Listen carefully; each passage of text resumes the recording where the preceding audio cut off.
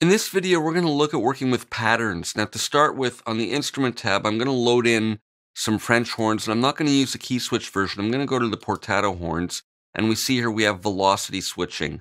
And I'm going to take this 2.0, which determines the length of the portato, and load that in for the sound. Now I'm going to switch to pattern mode. Now here, patterns are loaded onto individual keys on the keyboard, and they can be loaded uniquely for each of the 16 parts.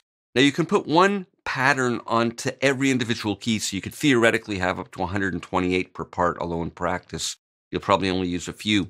Now when we're in pattern mode here, the idea is that we can audition them from here, and then we can load them into the parts, or we can even drag and drop them into the DAW. So let's go to brass, I'm going to start with some French horn ones. Now to audition, I'm going to click this pattern audition button, and as I click on the patterns, they'll play.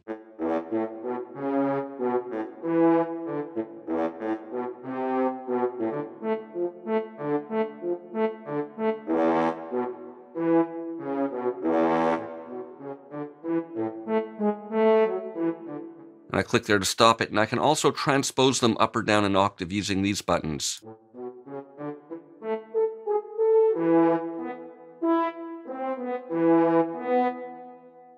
And when it's transposed down low like that, of course, there are no notes being triggered in that range. So let's go back to the neutral triggering and let's load in some patterns. Now we can either double click a pattern and that'll load it onto C0 at the bottom, or we can just drag it onto the note that we want. So I'm going to take this first one and I'm going to drag it up high out of the playable range of the instrument. And there it is on C sharp. I meant to aim for the C. Let me do that again. I just click that X to clear.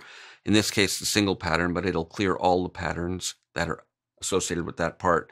So there we go on the C and I'll hit that note. And I hit it again to stop it. And that's in latch mode. You'll recall in the first video I showed in the preferences, we have MIDI patterns. When this is on, it means that it's latch mode and you hit the key once to trigger it, hit it again to stop the trigger versus when this is disabled. Now I just need to keep my finger down and as soon as I release my finger from the note, it'll stop. But let's go back to here and put it back on and drag some more patterns in. Let's take maybe this one over here. I'll audition it. All right, that's fine. I'll take that and I'll drag that to the note next to it. And let's take a, a, trombone one. And even though it's a trombone one, it's going to trigger the French horn that's loaded in to this part.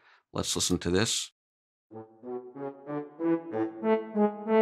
Okay, that's working nicely. I'll drag that over here.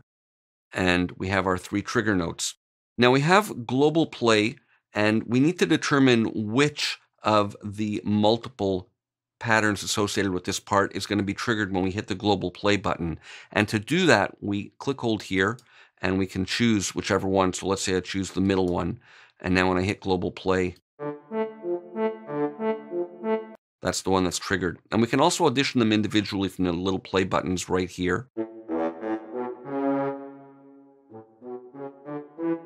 And what's great about using this type of pattern integration in Philharmonik 2 is that we can incorporate the patterns with some live playing. For example, I can hit this trigger note and then in the playable range of the instrument, add on and play a part in addition to it.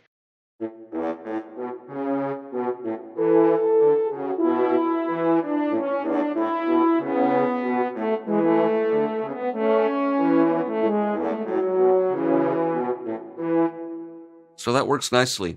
Now we can drag and drop these into the DAW, and there's a couple of ways of doing it. I can drag this right in over here, and if I play it back now, we'll hear that pattern.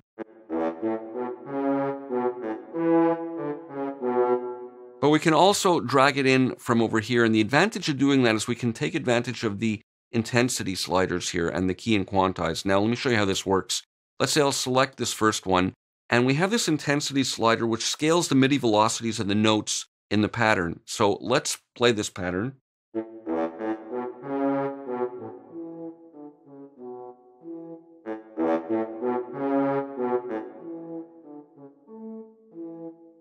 And if I drag and drop now, it's going to maintain these settings and drag and drop it at the reduced velocities, and we'll hear it play back now appropriately.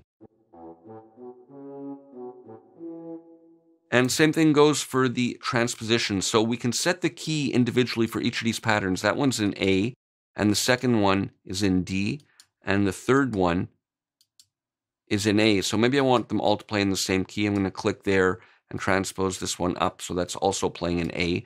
And now when I trigger the D, we'll hear it. This D trigger note, we'll hear it in the same key as the others.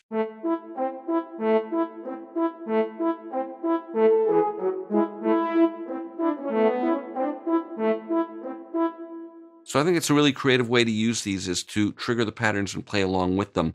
Now, if we want to remove any of the individual patterns from this part, we click hold there and choose these X's and that'll remove them individually. And we can similarly quantize to change the feel of any of the associated patterns. So for example, this one here, the first one, maybe I want to have that one in more of a swing feel. I can go something like that.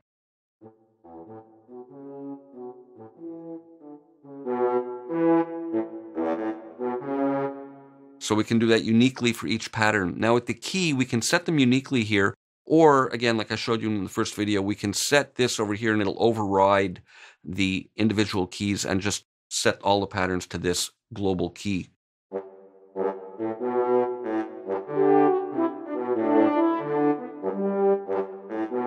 So they're now all playing in G. And if we switch here, we'll see that they're all going to be automatically transposed to the key set here.